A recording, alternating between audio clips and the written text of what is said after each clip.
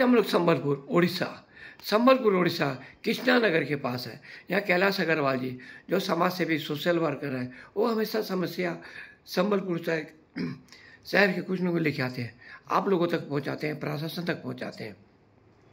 हाँ किस तरह अवेयरनेस होगा, किस तरह प्रॉब्लम सॉल्व होगा, उसके बाद लोगों को बताते हैं, दिखाते हैं। आप लोग भी समझ सकते हैं। आइए मिलेंगे कैलाश अग्रवाल जी।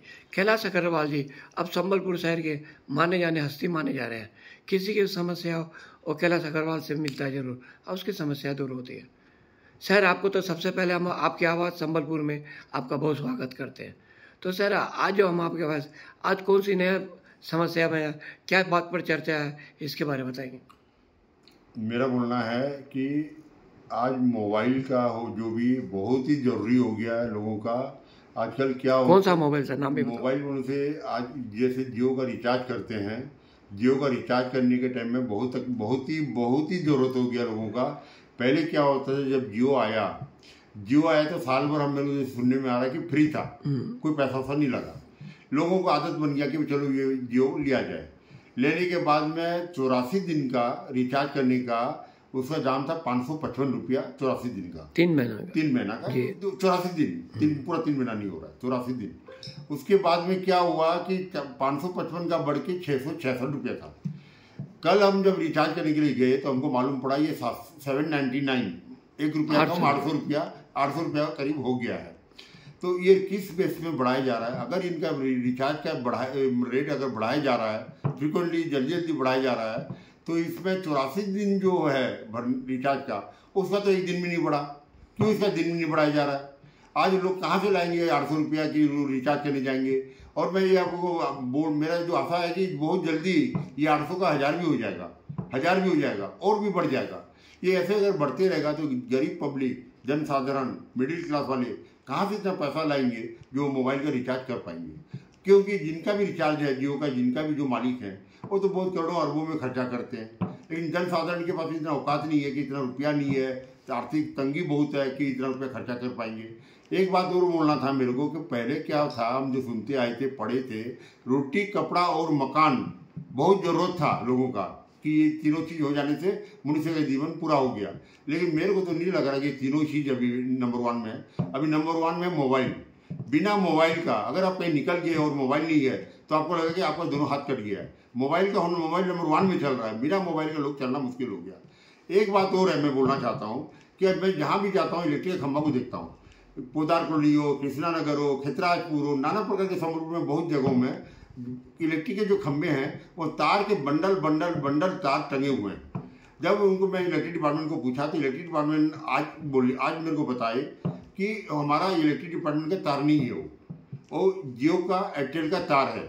आज वो तार क्या होता है? झुल झुल के, रोड के, एकदम सट के एकदम झुला झुलते रहता है। उसके झुलते रहने से क्या होता है कि बहुत लोग एक्सीडेंट हो जाता है। कई आदमी फंस जाते हैं, गाय, जानवर फंस जाते हैं। आदमी अगर फंस गया तो उसका प्राण संगे संगे निकल जाएगा। हॉस्पिटलाइज हो जाएगा, या फ्रैक्चर हो जाएगा, कि कोई बीमारी हो जाएगा।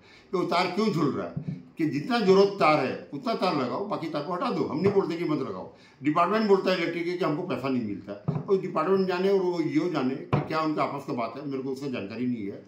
जितना मेरा बोलना है कि अनुरोध करना है कि जनसाधारण का आवाज़ है, जितनी तार की ज़रूरत है खम्भों का, उतना तार ही लगे, बाकी तार को हटाया जाए, जब ज़रूरत होगा और लगाया जाएगा। क्यों नहीं? ये बात मैं पहले भी कई बार उठा चुका हूँ, लेकिन इसका कोई सुनवाई नहीं हो रहा है, क्योंकि बहुत दूर दूर, बहुत बड़े बड़े आदमी हैं, वहाँ तक हमारा बात पहुँच नहीं पा रहा है। जनसाधारण की बात अगर नहीं पहुँचेगा तो भारत कैसे हम बोलेंगे स्वतंत्र हुआ?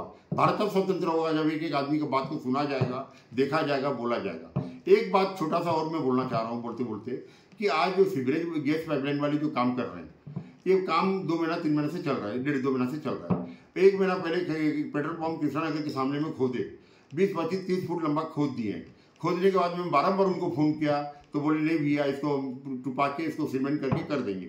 आज एक महीने से पड़ा है, कहीं कोई भरपाई नहीं हुआ, कोई सीमेंट नहीं हुआ, कुछ नहीं हुआ। पानी में आ जा रहे हैं, नाना प्रकार मच्छर मक्खी आ रहे हैं, बीमारी फैलेगी, बहुत तकलीफ़ हो रहा है। लोग गिर जाएँगे तो प्राण निकल जाएगा। जब अभी तो ये कंडीशन हो गया कि जब फ़ोन करते हैं, और गैस में फ़ोन भी नहीं उठा रहे हो। उनका उनका खाली एक ही बोलना है, हमारी गाड़ी खराब है। करेंगे करेंगे। जब सुविधा होगा कर देंगे। सुविधा कब होगा? इतना अगर ज़रूरत था तो क्या दरकार था खोदने लंबा खोदने का? अगर ज़रूरत लंबा खोदने का ज़रूरत था तो इसी के उसको रिपेयरिंग करके डिपार्टमेंट को बोलना चाहिए। क्या तीसरे गिरा उसका रिपेयरिंग करके उसको ठीक किया जाए? क्योंकि नाना प्रकार का जो प्रॉब्लम होगा उसको दायित्व कौन लेगा? हम सरकार से ये विनिमय करते हैं कि प्रॉब्लम जो भी है छोटा छोटा चीज़ को सुधारते रहेंगे तो भविष्य में हर चीज़ सुधर जाएगा। एक एक रुपया से लाख रुपया बनता है। धन्यवाद। सरकार को हम अनुरोध करते हैं हमारे बातों को ध्यान दिया जाए। ठीक है। अभी हमने कैलाश अग्रवाल जी की बातें हैं, ये पब्लिक हित में इन्होंने ही बात कही, आपके पास कुछ हो ना हो, ना, रोटी, कपड़ा, मकान के बारे में बताएँ, लेकिन आपके पास मोबाइल ज़रूर होता है। एक मोबाइल ऐसा चीज़ है, सुबह से लोगों को, रात को बारह, दो बजे तक हमेशा काम आता है। जहाँ मोबाइल यदि बंद भी हो जाता है, लोग पागल हो जाते हैं। मोबाइल नहीं मिलता तो लोग पागल हो जाते हैं। अब रिचार्ज में इतने दाम बढ़ा दें, इतने दाम बढ़ा दें, लोगों को अब सोचते कैसा करें। अब हम लोग ये बिना मोबाइल के चल नहीं सकेंगे और इसी तरह हम भी जियो जियो एयरटेल सबको बोलेंगे सर, कुछ आप देखिए, लोगों को किस हेल्प कीजिए। इतना मत दाम बढ़ाइए जो चलते हैं। चौरासी का नब्बे दिन कीजिए। कम से कम तीन महीना तो कीजिए और साल का भी तीन सौ साठ दिन कीजिए। ये नहीं कि आप कम करते हैं, आप पैसा पूरा लेते हैं। आपकी आवाज़ संबलपुर, जसवीर सिंह की रिपोर्ट।